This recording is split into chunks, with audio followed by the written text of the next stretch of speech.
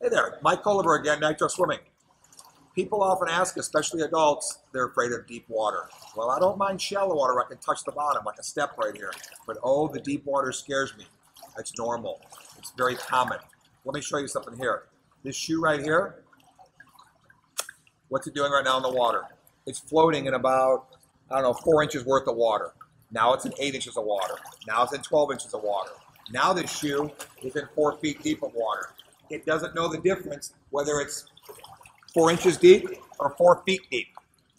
So when we're swimming, your brain knows, but your body doesn't. You're floating, you're swimming, shallow water, deep water. There's no difference as long as you know how to. Give your back when you need to, float when you can, float